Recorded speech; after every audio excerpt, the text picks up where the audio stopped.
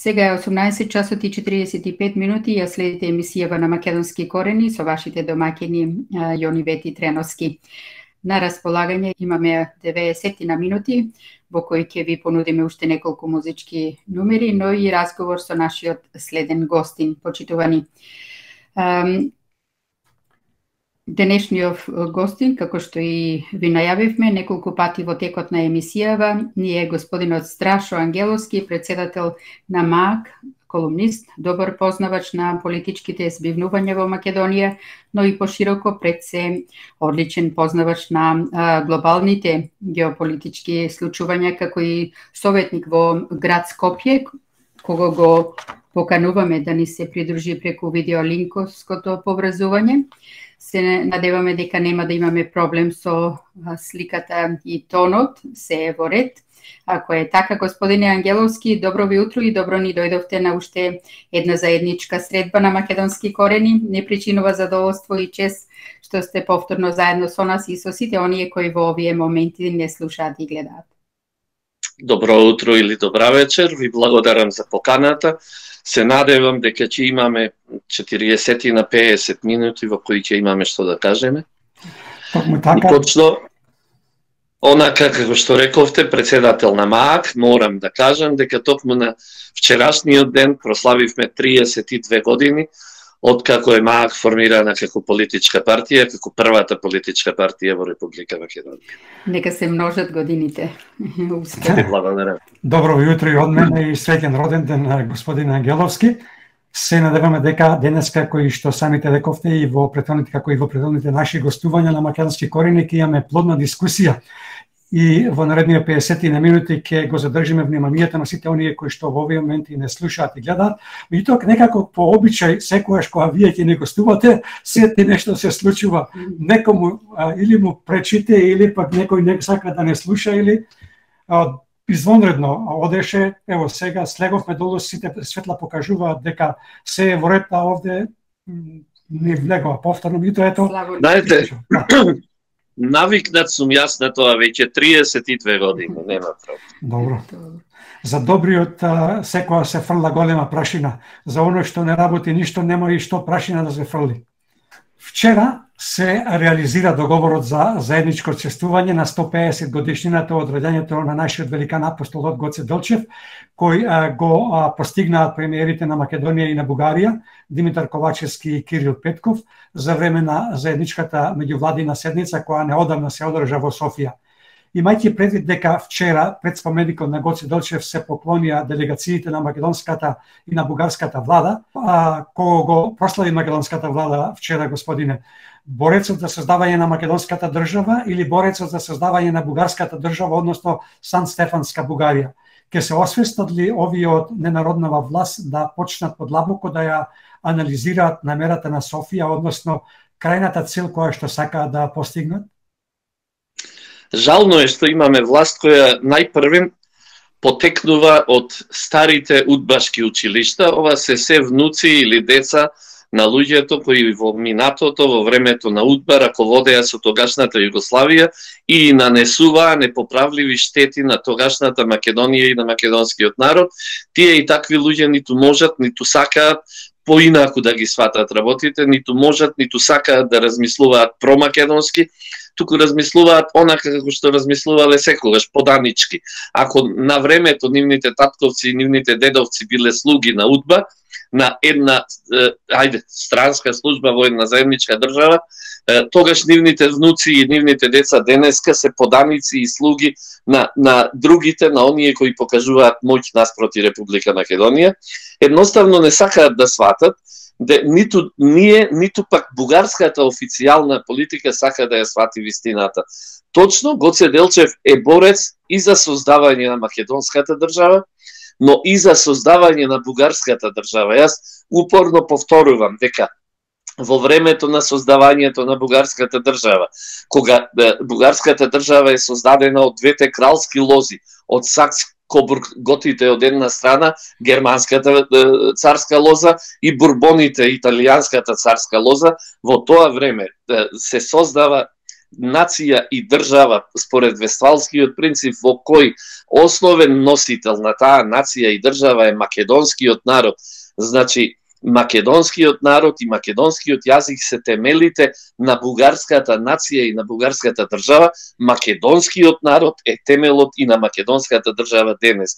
Значи, бугарската официјална политика би било добро да свати дека да, бугарската нација е постара од македонската нација, меѓутоа нацијата е вештачка творба. Нацијата ја создаваат оние кои се затекнале во исколчената територија, односно во, во заградената територија каде што се создала државата и дека процесот на враќање на нацијата назад во народ е неможен. Од друга страна треба да сватат дека народот е она исконското и вековното и дека тој народ секогаш може да создаде нација и да создаде држава.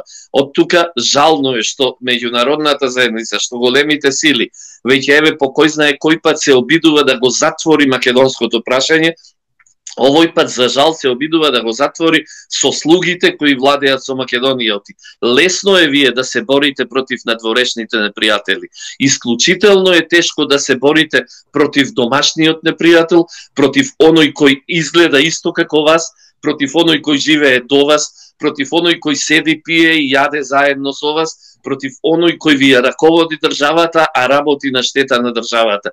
Меѓутоа, мора да сватат едно, дека еден народ никогаш не може да се уништи, еден народ не може да се убие. И колку пати да се обидуваат да го затвараат македонското прашање, ние македонците, ние македонскиот народ, тоа прашање повторно и повторно ќе го отвараме и секогаш пред нас постои можноста и доколку сега некако, не дај Боже, ја изгубиме државноста, секогаш пред нас како пред народ постои можноста одново да го отвориме македонското прашање, одново да создадеме држава и одново да создадеме нација. Тоа не можеа да го сватат и за жал Она што вчера се случуваше не е реализација на никаков договор, она е уште една исклучителна поделба на македонскиот народ внатре во македонското ткиво. Во пресвет на ова заедничко чествување на 150 годишнината од раѓањето на нашиот великан апостол Гоце Делчев, кој се одржа нели вчера петок 4 февруари, ко председателот на заедничката комисија за историски и образовни прашања меѓу двете земји, доктор Драги Ѓоргиев даде две изјави што спрема нас се контрадиктирни. Едната изјава која ја даде за Радио Слободна Европа е дека таквата одлука за заедничко очествување ја става комисијата во абсурдна ситуација и не знае зошто била донесена таква одлука, додавајќи дека ако политичарите нашле начин и формула да го слават заеднички Делчев, тогаш тој сегмент од работата на комисијата треба да биде тргнат. Другата изјава ја даде на една национална телевизија, велејќи дека политичарите од двете земји донесле таква одлука како гест на добра волја од страна на двете влади и дека разговорите во комисијата мора да продолжат нели како дел од процесот на диалог меѓу двете држави со цел отворање на пристапните преговори со Европската унија. Историската комисија е еден дел од тој процес и тогаш не постои друг начин освен да се продолжи со диалогот, додаде Драги Ѓоргиев. Како вие би ги прокоментирале овие негови две изјави? Нас не изгледа како да станува збор за изјави кои доаѓаат од двајца, а не од еден човек. Ако го земиме во предвид ова, тогаш која е целта на постоењето на самата комисија и према вас кој би бил вистинскиот чекор што комисијата треба да го направи? Знаете, вакви изјави, вакви е, противставени изјави се појавуваат кога работите под диктат на политиката, кога работите под диктат на власта и нормално е дека една ќе кажете едно, потоа ќе кажете друго. Меѓутоа, самото постоење на ваквата комисија е абсурд од невидени размери. Постоењето на таква комисија значи дека се прави обид за ревизија на историјата, значи дека се прави обид за пречкртување на некои делови од историјата и за нивно ново пишување или препишување денес. Ами замислете си ја ситуацијата, денес Франција и Германија да формираат мешовита заедничка историја историска комисија со која би ги докажувале, односно би ги ревидирале случувањата од Втората светска војна. Абсурд не виде во, во светски размери, меѓутоа, кога имате, знаете, кога имате власт каква што имаме денес, власт која, еве, јас за да за да сватат нашите гледачи и слушатели за што сакам да да зборувам, за што сакам да кажам, денес оваа влада која ја раководи министр, премиерот Монтенегро, како што го нарече нели Еди Рама на средбата во во Тирана, јас ја нарекувам Монти Пајтоновска влада, влада прикрпена одавде оданде, меѓутоа трите клучни функции во таа влада ја држат луѓе кои доаѓаат од еден из град од Куманово. Тоа ќе рече премиерот на владата, министерот за внатрешни работи и министерката за одбрана доаѓаат од Куманово. Кумановската организација, општинска организација или како и да ја нарекуваат во во нивната партија СДСМ, донесе одлука и плоштадот во Куманово на плоштадот во Куманово му даде име Нова Југославија. Тоа го стори десетина, 15 години откако Југославија веќе не постоеше. Тоа го стори не, не предизвикана од ништо. Значи, сакам да, да сватат слушат, слушателите и гледачите за каква гарнитура на власт денеска зборуваме, за луѓе кои ја промовираат нова Југославија, за луѓе кои во, своди, во своите заложби никаде го немаат Гоце Делчев и она што од времето на Гоце го војувал македонскиот народ, па на крајот на краиштата, ако сакате, имаме власт која ги избриша и постулатите од Асном и Асномските одлуки и Асномските заклучоци. Ние сме сведоци дека на Асномското заседание во 1944 имавме и делегати од Пиринскиот дел на Македонија. За тоа се сведоци и и бугарските историчари и луѓето од официјалната бугарска политика.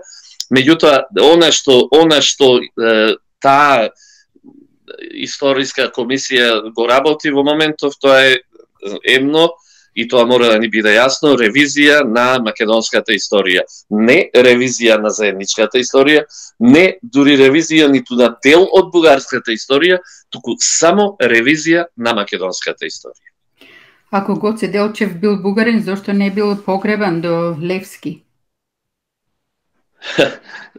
Видете, значи, работите се повеќе од јасни, работите се онакви какви што се, меѓутоа официјалната бугарска политика имаше само еден краток период кога работите ги кажуваше со нивното вистинско име во времето на Ѓорѓи Димитров, во времето кога беше признаено постоењето на македонскиот народ, постоењето на македонскиот народ внатре во бугарската држава, кога и вклучително беа донесени моштите на Гоце Делчев овде во онака како што тој нели сакаше во главниот град на слободна Македонија и токму затоа не може не можат официјалната бугарска политика да се врати назад и уште поабсурдно еве делува барањето на Каракачанов моштите на Гоце да биделе вратени сега назад во Софија, па може би тогаш ќе ги закопаат некаде до да заедно до Левски или може би ќе бараат место до хан Аспаров или хан Кубрат,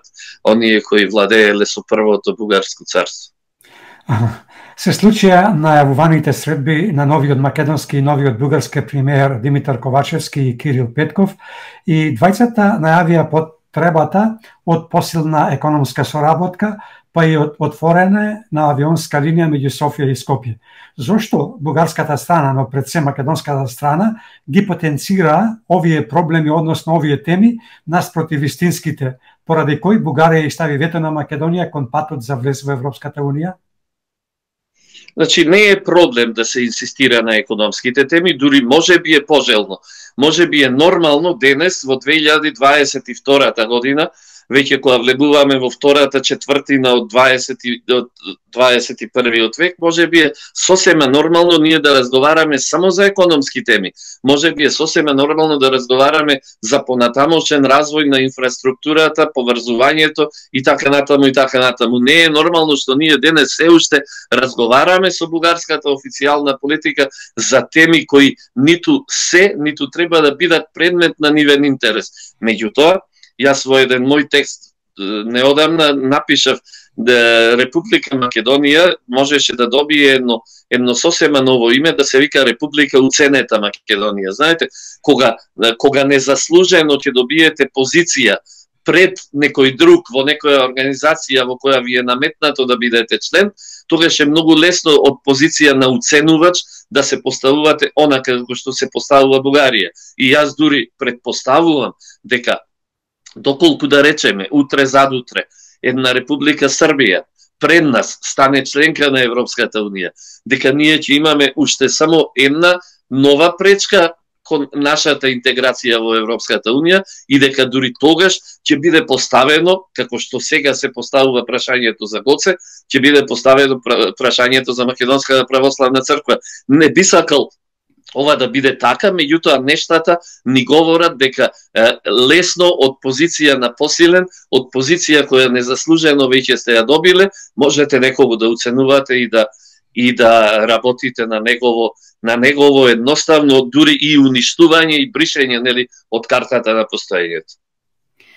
Како го оценувате уделот во надворешната политика што го има Дуј, односно министерот Бујар Османи, за чие действување во поглед на преговорите со Бугарија, доскорашниот учесник со преговорите Никола Димитров изрази стравување дека тој брза со цел да забележи резултат во процесот.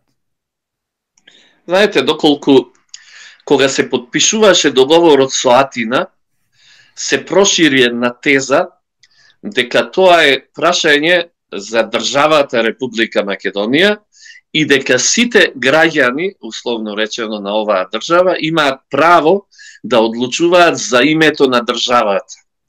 Значи, вклучително и оние кои не се македонци, вклучително и албанците, бошњаците, ромите, власите, турците и сите оние кои живеат во Република Македонија.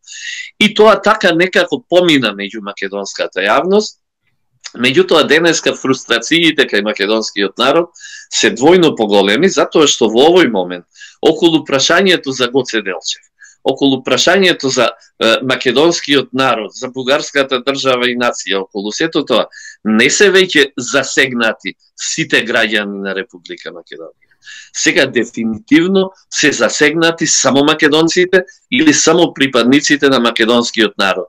Со ова барање на Бугарија, на официјална Софија, не се задира ниту во етничката припадност на албанците, на бошњаците, на србите, на власите, на ромите, ниту на било кој, туку се задира само и исклучиво во, во етничката припадност, во постоењето на македонскиот народ.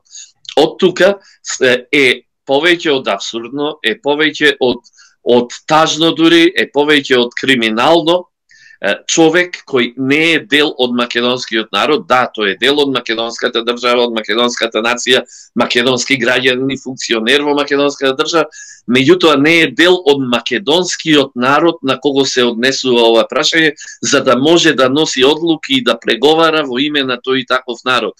И овде јас ќе морам да бидам многу конкретен, затоа што оваа и ваква власт е сочувана токму затоа да може Бујар Османи да преговара во наше име. Оваа власт, значи, и ова прашање кое се однесува само за македонскиот народ, денес во СДСМ одлучуваат само 2-30 пратеника, одлучуваат пратениците од ДУИ и одлучуваат пратениците од малите политички партии кои упорно сега малку ќе ќе се тргнам настрана, меѓутоа морам да го објаснам нештото, кои упорно инсистираат на промена на изборниот модел во една изборна единица. Со тоа, прво, сакаат само да се сместат себе си во фотелите во парламентот и второ, што е уште поважно, сакаат да иницираат отварање на уставот заради промена на изборниот законник, при кое отварање би влегле и бугарите во уставот на Република Македонија. Значи, тоа се штеточини кои и нанесуваат штета на македонската држава и кои со таков изборен законник Замислете си, која би влегле утре десетина председатели на политички партии, секој сам со себе, Замислете си дури тогаш каков ќе биде пазарот во македонскиот парламент и затоа МААК инсистира на мнозински изборен модел, односно на 120 изборни единици, со по 15.000 гласачи, па секој од нас нека се појави пред своите гласачи, нека се појави со име и со презиме и со програма, па можеме да разговараме за. Значи, штетата кои тие и такви ја нанесуваат е страшна и огромна. Македонскиот премиер Димитар Ковачевски не соопшти на македонската јавност за содржините од разговорите кои ги има во Софија, но неговиот колега, бугарскиот премиер Кирил Петков, немаше проблем да каже дека Ковачевски прифатил бугарите да влезат во македонскиот устав. Како мисли Ковачевски да ги вметне во уставот како конститутивен народ, кога тие, кога се формираше македонската држава, беа окупатори и работеа против Македонија. Дали може бугарите да бидат конститутивен народ во Македонија, кога, како што реков, тие били окупатори, а сувереноста на Македонија спрема манифестот на Аснон од 1944 година почива на борбата против фашистичката окупација. Значи, најпрвен тешко е Ковачевски било што да објасни, затоа што човекот едноставно тешко и дека ги разбира нештата, токму затоа е и донесен на она место да биде премиер во ситуација кога треба да се доврши приказната со македонската држава. Човекот е изгубен во време и во простор, човекот едноставно не знае ниту каде се наоѓа, ниту зошто таму се наоѓа, и од тука не можете вие да очекувате од него тој конзистентно да излезе и на македонската јавност да и објасни зашто разговара и зашто тој преговара со својот бугарски колега. Тоа е првото. Второто е дека она што го велите дека како може бугарскиот народ да биде конститутивен дел од македонската држава, прво пак ќе се вратам на Не постои бугарски народ. Значи, како таква не постои бугарска нација вештачки создадена, меѓутоа нема бугарски народ кој би можел да влезе во било чиј устав во па вие ајде да видиме дали во било која соседна држава на Бугарија постои бугарскиот народ не како конститутивен елемент, туку дури и како малцинство. Значи, такво нешто не постои. Бугарската нација постои само во рамките на државата во која се нашла, се затекнала 1878 при незиното создавање и од тука е, е, е илузија, е дури небулозно да зборуваме за бугарски народ кој би влегол во македонскиот устав. Да, постојат луѓе кои македонци кои се сметаат како дел од бугарската нација и тие ја прават таа го прават тоа недоразбирање. Тие се сметаат како дел од бугарската нација, меѓутоа и нив кога ќе ги прашате не можат да кажат дека се дел од бугарскиот народ затоа што не можете да бидете дел од нешто што не постои.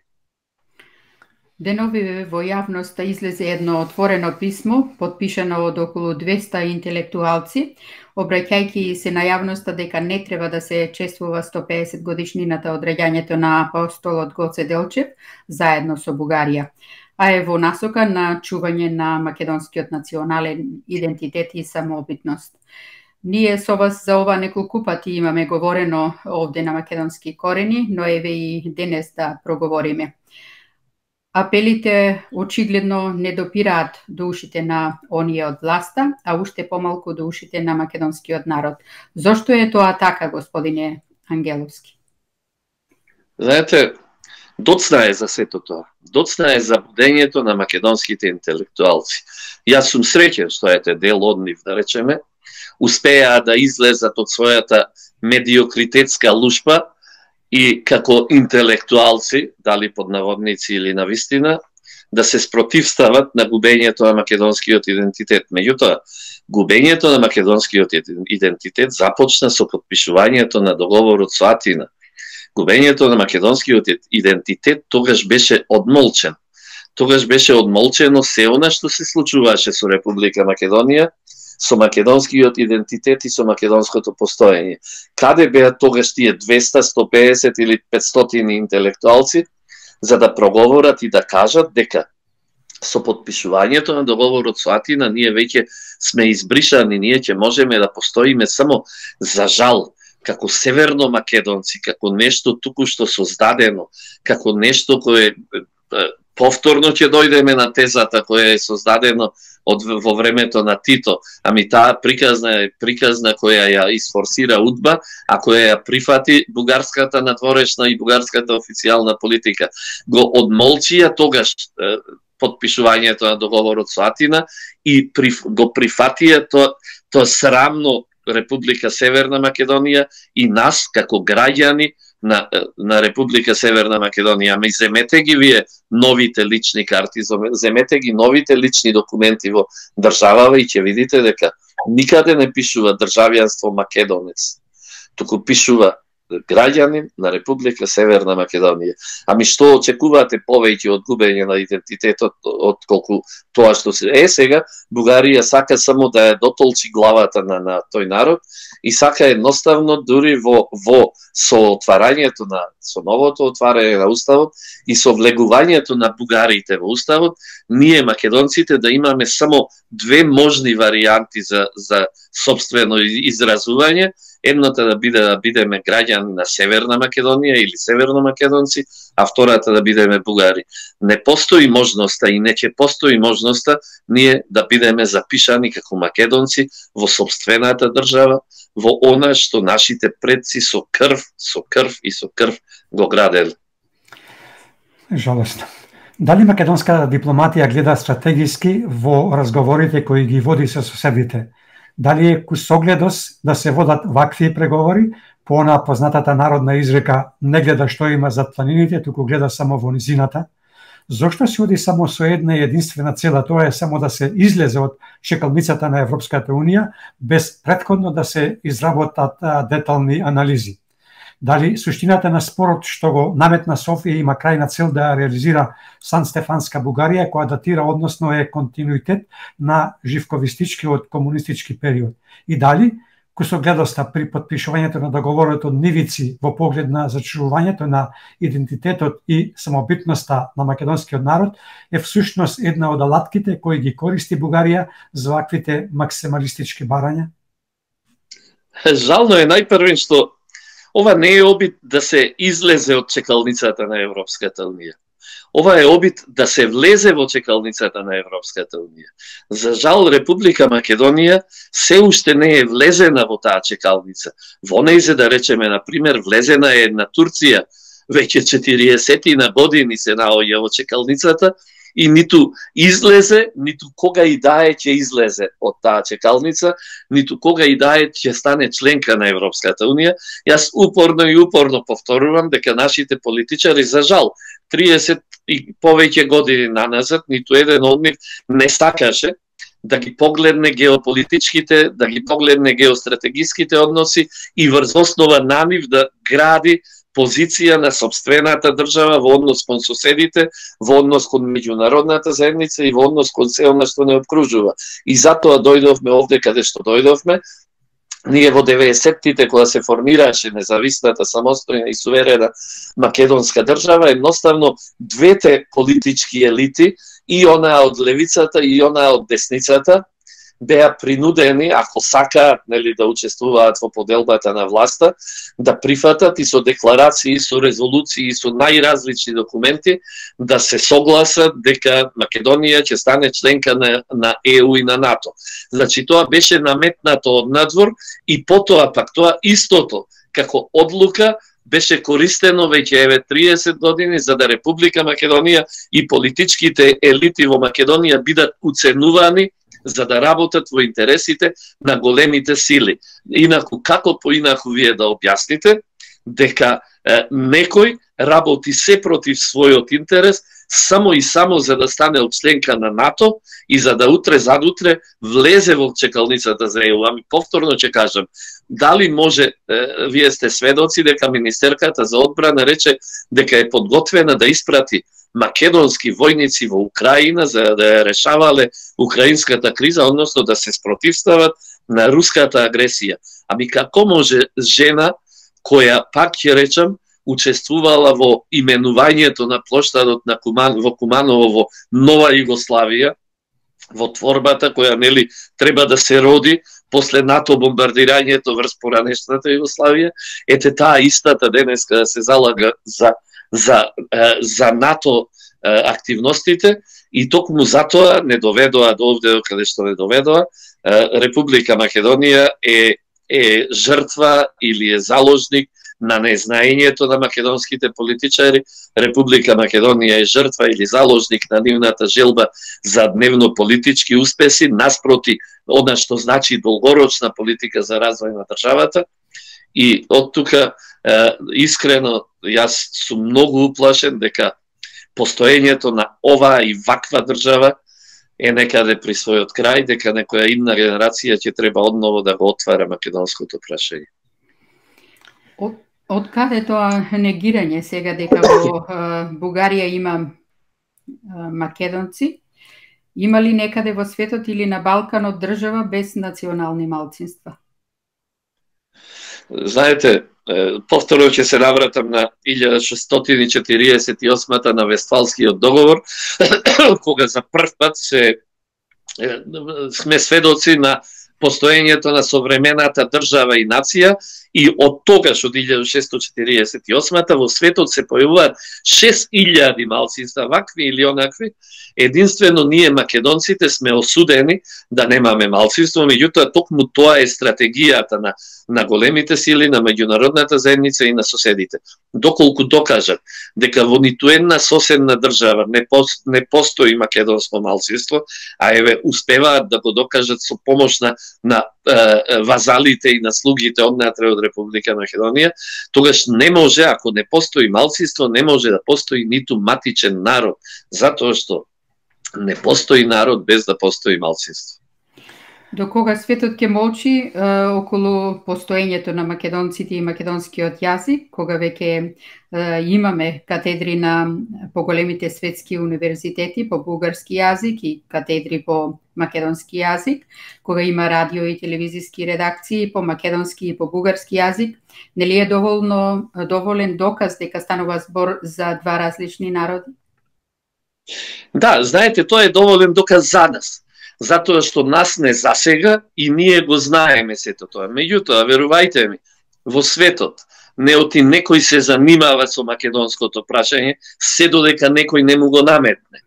Значи, верувате ли дека некој ќе стане наутро некаде во некој крај на светот и ќе рече чекај да видам што станува со македонскиот народ и со македонскиот јазик во светот. Никој.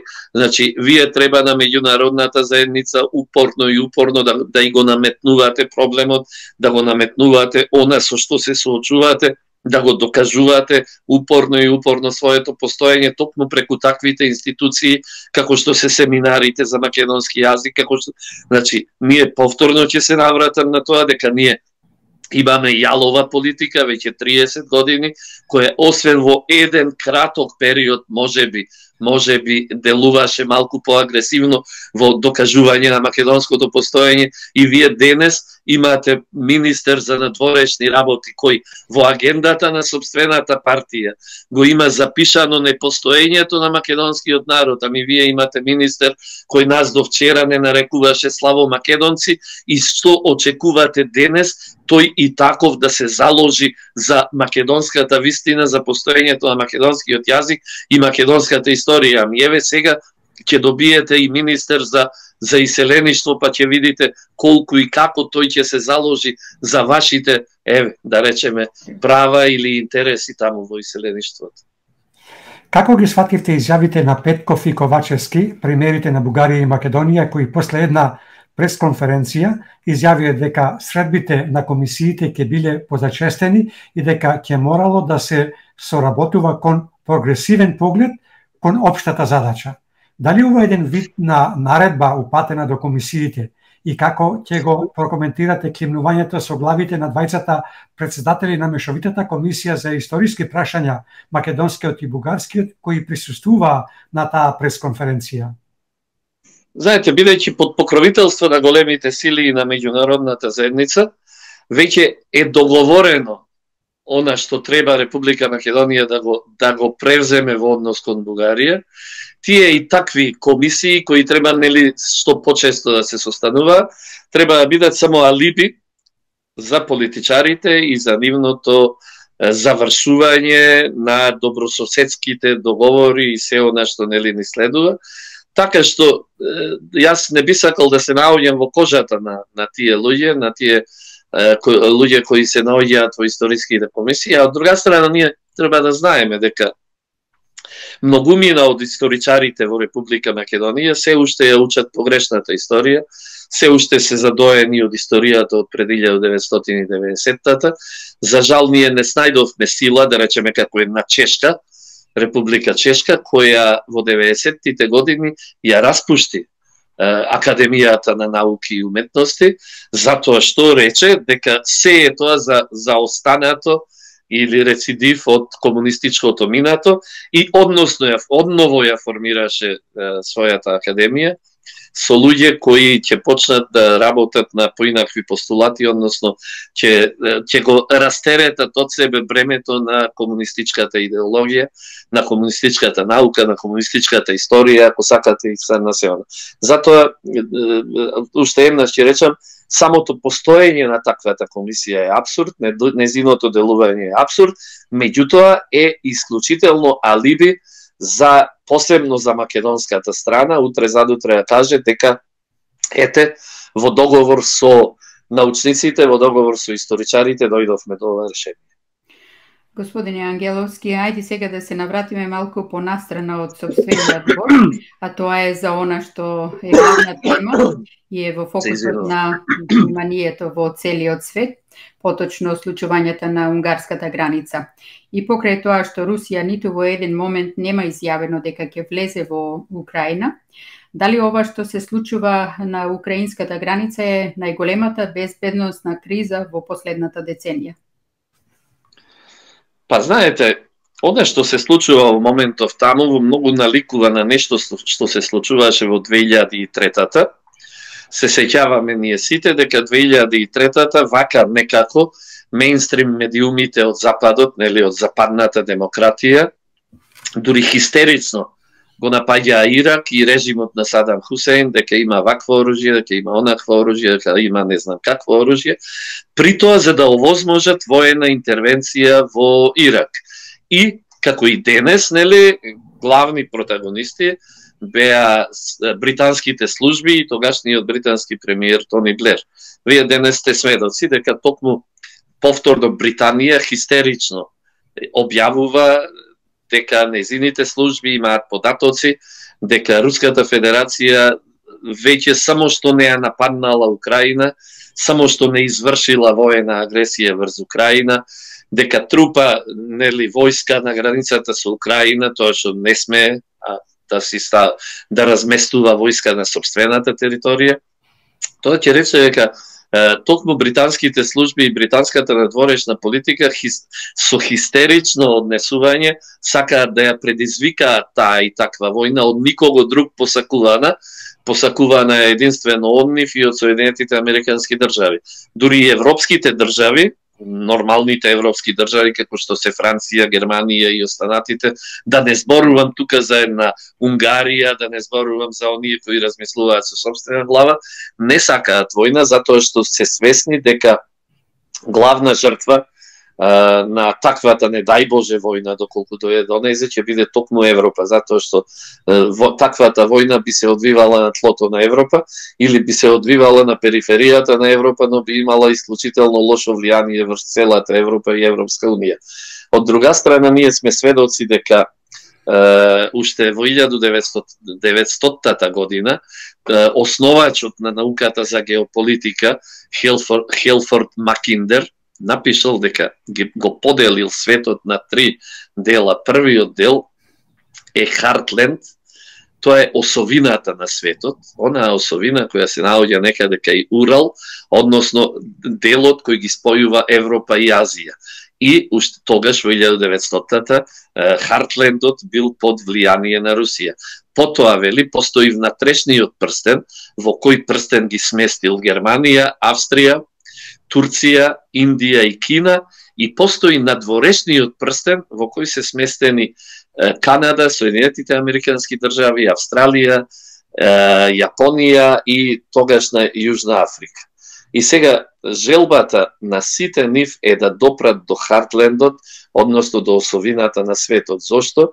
Затоа што да речеме европскиот дел од Хартлендот или таа, таа западна периферија на Хартлендот сега се Белорусија и Украина, Јужниот дел го сочинуваат петте стана, односно петте држави, Казахстан, Киргистан, Туркменистан, Таджикистан и Казахстан, и Каспискиот дел кој го сочинуваат Грузија, Ерменија и Азербејџан.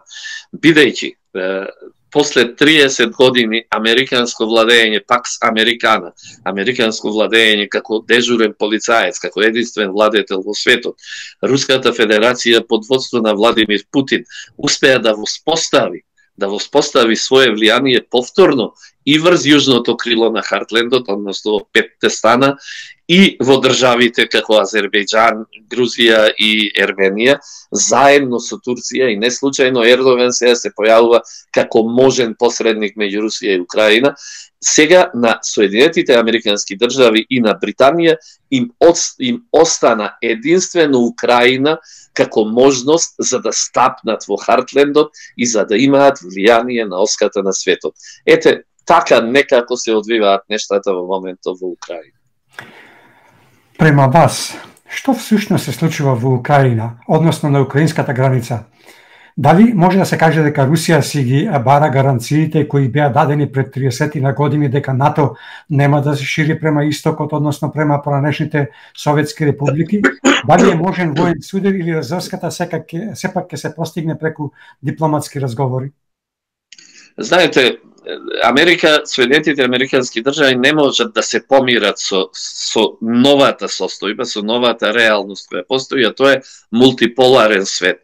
Соединетите Американски држави 30 години после завршувањето на студената војна, после распуштањето на Варшавскиот пакт и договорот со тогашниот Советски сојуз дека и НАТО ќе биде растурен затоа што ќе нема потреба од негово постоење, меѓутоа мудро измамувајќи ја то Русија или тогашниот Советски сојуз, НАТО не само што не се растори, не само што не се распушти, туку НАТО и покрај ветувањата продолжи да се шири кон границите на Русија. Меѓутоа, Руската Федерација и Кина станаа исклучител, две исклучително моќни држави и веќе поделбата на интересите во светот е мултиполарна, веќе не може Америка да ужива во својата пакс Американа и Америка мора да свати тоа што не сака да, го, да го свати и затоа вака се однесува, дека ќе мора да дојде до поделба на, на моќта, на власта и на интересните сфери во светот. Јас многу одамна, пред години и години, уште пред да се случи Брекзитот, пишував дека Британија, го, го иницира Брекзитот, за да излезе од Европската Унија, за да може да биде учесник во новата Јалта. Ние сме сведоци дека еден ден, дали тоа ќе биде утре или по, по три месеци или последна година, ќе се случи новата Јалта и ќе се случи нови, е, распределба на новите сфери на влијание. Е, конфликтот во Украина единствено може така да заврши.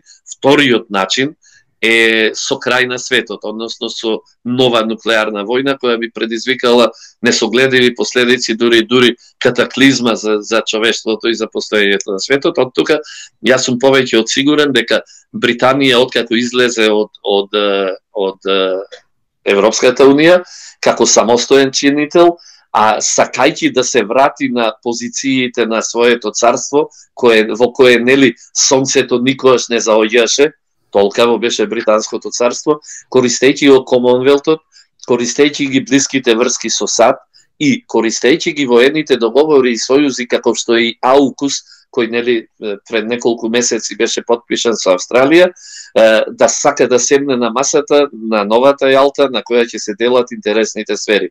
На таа маса ќе се најдат Соединетите Американски држави, Британија, Русија и Кина. За жал, за жал на таа маса нема место за Европската Унија, затоа што Европската Унија, како слуга на САД и на американските интереси, не успеа да изгради своја е, конзистентна заедничка надворешна политика, независна од политиката на САД, не успеа да изгради ниту своји воени одбрамбени сили независни од НАТО и од политиката на САД. И затоа е, чинам дека се бадијала напорите на Макрон да се наметне како лидер на Европската Унија и Европската Унија да ја смести на масата во новата Алта каде што ќе се одлучува. За жал, токму затоа европските држави се против војната, а европските држави се свесни дека токму тие ќе бидат жртва на не дај Боже таков развој на наставните. И само на кратко, дали Русија е во потрага можеби на формирање на некој си антинато блок имајќи го предвид договорот кој Путин го подпиша со Турција после стотина години руско-турски несогласувања? Па, Русија одговорот ако сакате директно да го добиете го даде Димитри Медведев човекот кој беше председател нели во еден период на Русија и тој рече дека ние бараме соработка, а не бараме да создадеме анти-НАТО или анти-било кого блок.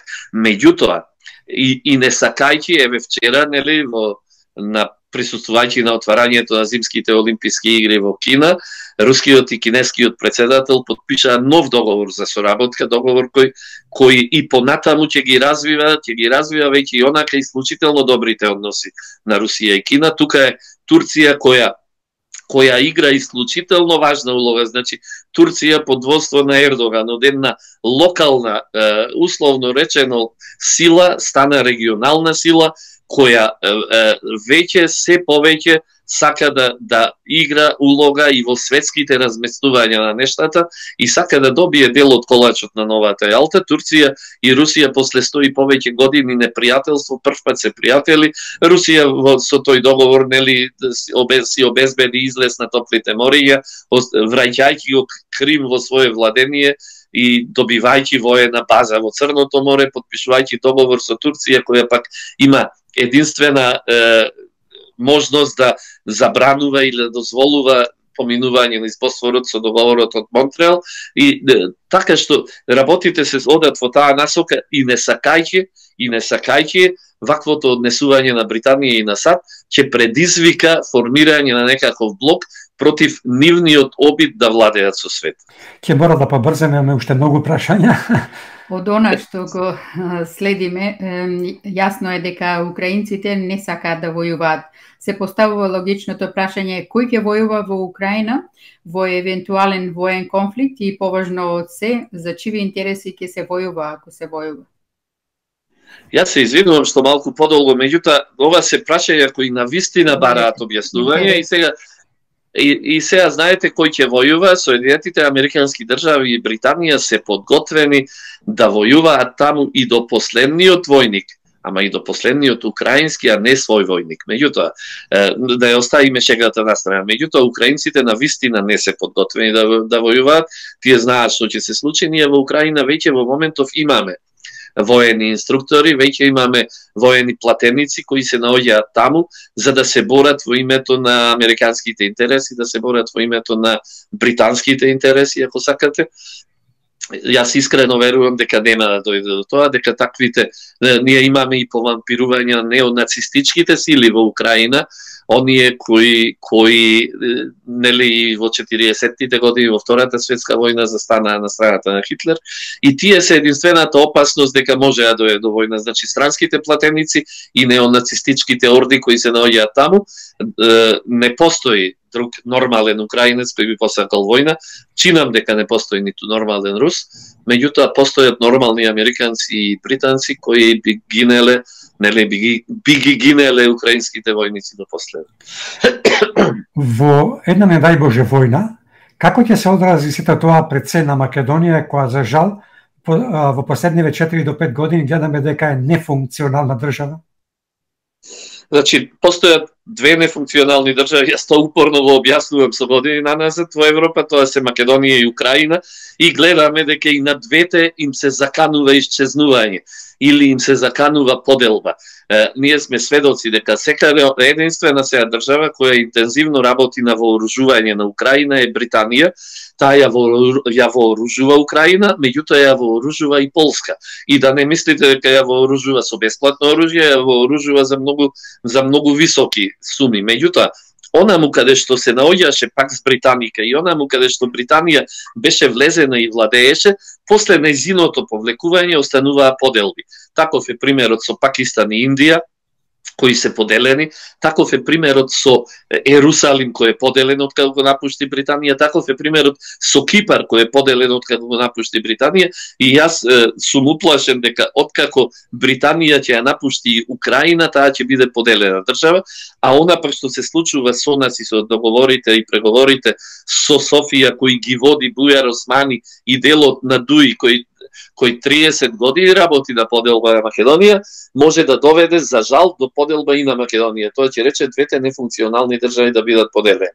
Што се однесува до воена разврска, јас искрено верувам дека до воена разврска не може да дојде затоа што во таков случај судбината на Македонија и судбината на Чешка и судбината на, на Словачка ќе биде иста, ќе и се закани нуклеарна катаклизма од која ќе нема спас.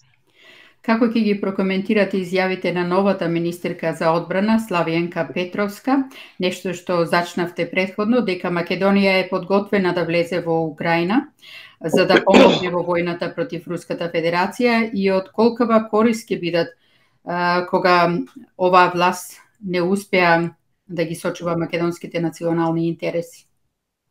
Знаете, јас кога пред 32 години, еве на вчерашен ден, ја формиравме МААК, ја формиравме со една меѓу другите нешта и со заложба за демилитаризација и воена неутралност на Македонија. Ние пред 32 години бевме свесни дека Македонија ниту може да биде вооружена сила, ниту колку и да се вооружува ќе може да се спротивстави на далеку помоќните и далеку побројните армии од соседството, но и пошироко.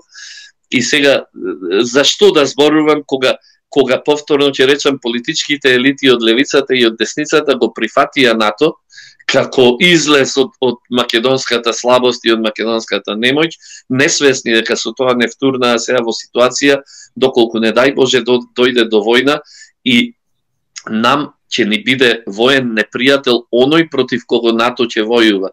И на оваа кревка невооружена и никаква држава, тој тој непријател на НАТО ќе и биде непријател. Од тука, кога не би биле трагични, премногу се смешни изјавите на господијата министерка, како да излезе на одделата на Нушич, премногу се смешни и посетите на Ковачевски, на, на премиерот Монтенегро, на Брисел и неговата средба со Столтенберг, каде што нели исто му беше посочено дека треба здраво да се подготвуваме за ситуацијата во Украина и на вистина, ако не е трагично, тоа би требало да се изнасмееме. Не е за изненадување изјавата на Сладјанка Петровска, министерката за одбрана, бидејќи жената толку знае и толкаво е познавањето, но за нас зачудувачка е изјавата на председателот Стево Пендаровски, кој после 14-тата седница на Советот за безбедност во однос на тензиите на украинско-руската граница изјави дека, цитирам, земјава како членка на НАТО ги направила сите необходни подготовки за можните сценарија. Како вие прокоментирате негово изјава? А зошто не знам зошто вам ви е зачудувачка таа изјава? треба треба да бидеме сите свесни дека оваа влада и председателот на во моментов се надворешна инсталација која треба да размислува, да говори и да делува онака како што однадвор ќе и биде речено. И од тука не треба никого да зачудуваат синхронизираните изјави на министерката, на председателот, на премиерот, на политичките аналитичари кои се наоѓаат нели од страната на власта и на сите оние кои не убедуваат денес дека е многу добро што ние како членка на НАТО еве се подготвуваме, па дури и сме подготвени со по два со по два чифта зимски чорапи да отидеме и да ја почувствуваме суровата руска зима. Повторно ќе речам, ако не беше трагично, ќе беше навистина смешно. Разговоров накратко ќе го продолжиме со неколку блиц прашања поврзани со темата со која го започнавме и денешниот наш разговор, чествувањето на 150 годишнината од раѓањето на македонскиот апостол, идеолог и борец за македонската држава Гоце Делчев. Како ќе ја прокоментирате изјавата на Пендаровски со која изјава тој го изедначи бугарскиот премиер Кирил Петков со Нелсон Мандела? Дали воопшто заслужува коментар, не знам. Меѓутоа, за жал, она што требаше Гоце да, да, да еве, ајде, да, за, да, бидејќи навистина не можам да коментирам такви ситуации, такви, ајде да не речем глупости, она што требаше Гоце да биде, Гоце требаше да биде оската околу, околу која требаше да се обединува македонскиот народ.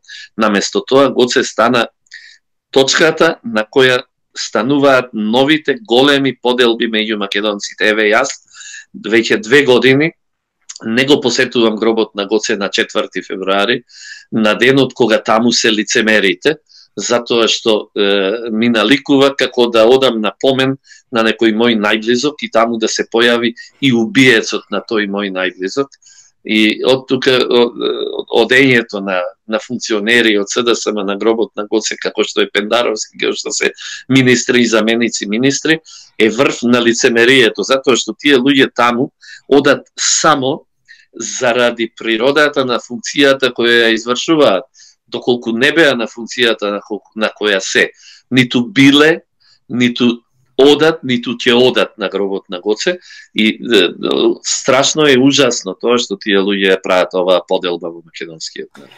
Како ќе го прокоментирате различниот пристап на честувањето? Од една страна имаме јасна порака од бугарскиот председател Радев и премиерот Петков испратен од плоштадот Македонија во Благоевград, а од друга страна своевиден мол од Пендаровски и Ковачевски. Случено ли беше одсуството на Ковачевски и Османи? Па добро, тие нели еве излегува со нивното гостување во Брисел и дека не може да бидат тука, но ништо не е случајно. Посебно во политиката нема случајности.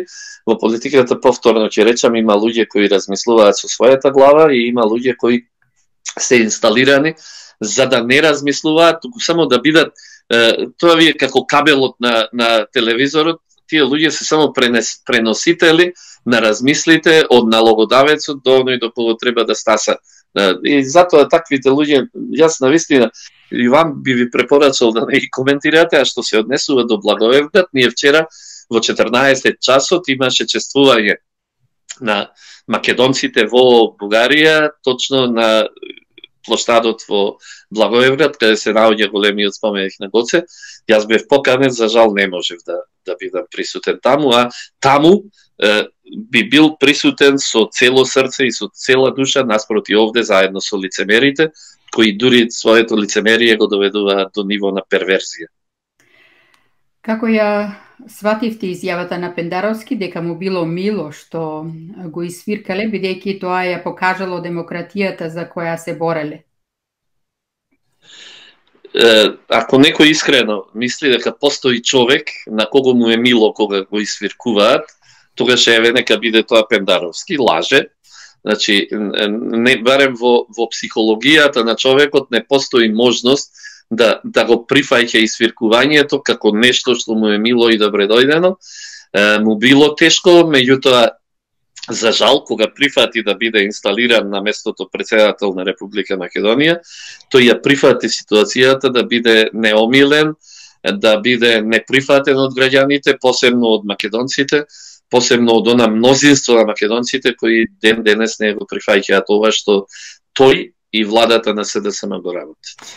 Ваш став за поднесената декларација од страна на пратениците на ВМРО, ДПМН и коалицијата и уште едно прашање, не е поврзано со ова, меѓутоа на кратко ако сакате да кажете, бидејќи цело време говоревме дека сте, сте заплашени дека ќе изгубиме државата ако вака се продолжи, Што треба да направиме? Што треба македонскиот народ да направи за да не дојде до тоа?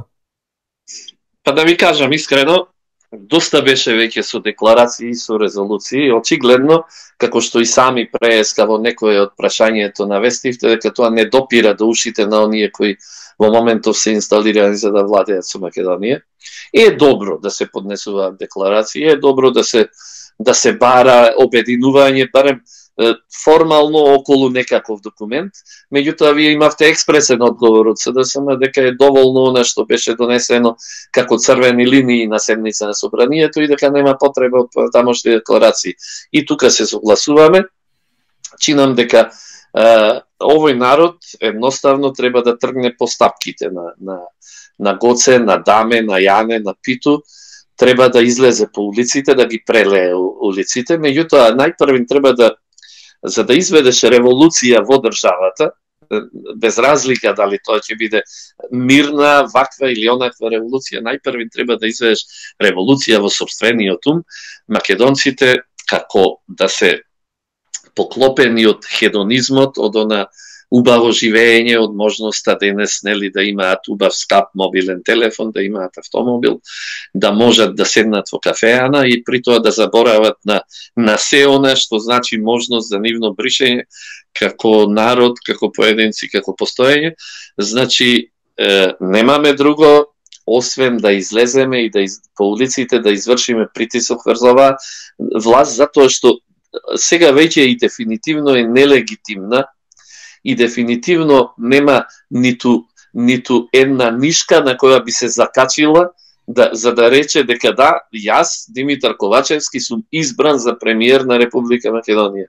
Ниту некој го виде, ниту некој го избра, ниту некој го знаеше, ниту некој го знае, премиерот Монтенегро, човекот кој имаше смелост да отиде да се слика како никој и ништо, како човек кој потоа дури стана мандатар и премиер, да се слика и да биде да биде цел на подсмев на балканските лидери, значи да се излезе на улиците, да се направи притисок за паѓање на оваа влада, да се да се доведеме до нови парламентарни избори, да биде совладана оваа идеологија, и да во меѓувреме да, да престанат ваквите наметнати преговори, разговори и договори и Македонија да си го најде својот пат, меѓутоа работејќи строго според сознанијата на геополитичките односи, геополитичките стратегии и се она што се случува во светот, а што може чамецот наречен Македонија да го поведе по мирни наместо по, по раздвижени води. Колку стравот ќе придонесе до не излегување на народот на она што верите да собере народ, бидејќи очигледно е оваа власт работи на начин на кој што работи, го заплашува народот на секое поле, на секој чекор. Свесни сме за тоа, јас барем сум свесен дека дека е тоа така, Меѓутоа, сметате ли дека кога се кревале востанија, сметате ли дека кога се кревале револуции, тие власти против кого се кревале востанијата и револуциите биле поинакви? Сметате ли дека тие во свилени ракавици се однесувале кон народот и кон неистомислениците? Ами постоеле десет пати или сто пати полошки, полоши и потешки времења, па народот, оној кој сакал да создаде држава, оној кој сакал да сочува држава, оној кој сакал да го сочува своето постоење, излегувал по улиците и го кажувал своето мислење. Јас, мислењето на народот ми е многу јасно, барем огромниот дел од македонскиот народ. Меѓутоа, за жал, тоа мислење го слушам преку шепотења, тоа мислење го читам на социјалните мрежи, Тоа мислење го слушам во кафеаните, во кафулињата, тоа мислење го слушам по улиците, во продавниците кога влегувам и кога луѓе ми приоѓаат, меѓутоа тоа мислење треба да биде крик на македонскиот народ, едноставно да извикне дека време е или да постоиме или да бидеме избришани. Повторно ќе речам, дури и да успеат заложбите на антимакедонските политики, дури и да успее обидот оваа држава да биде поделена или избришана, верувајте ми, македонското прашање е наше прашање на македонците, не е тоа ниту на британците, ниту на бугарите, ниту на грците, ниту на било кој, тоа е наше прашање. И не ќе може да остане долго затворено, повторно некои нови луѓе, некои нови македонци ќе го отворат и повторно ќе ќе ја возобноват таа држава доколку не дај Боже ние како генерација се покажуваме неспособни да ја сочуваме. Така да има кој да ги поведе. Господине Ангеловски, ви благодариме. Задоволство причини и ова ваше учество во Македонски корени. Имајте си убав викенд. Чувајте се, пријатно до слушање и скоро до видување овде на Македонски корени. Јас се извинувам на крајот за да не завршиме песимистички, да кажеме дека сепак веруваме дека Македонија ќе обстои, дека македонскиот народ ќе ќе го е, осознае она што го живее и ќе успее да се избори за своите правдини, за своето постоење и за се она што за што треба да се избори. Так, господин Ангеловски, ваквиот начин на разговор кој што го водевме денеска има две оски. Едната е многу важна што со ова се подкрева се бу, го будиме македонскиот народ да. да излезе од стравот, да се ослободи. Така е. И до слушање и до видување. Имајте убав ден. Довидување.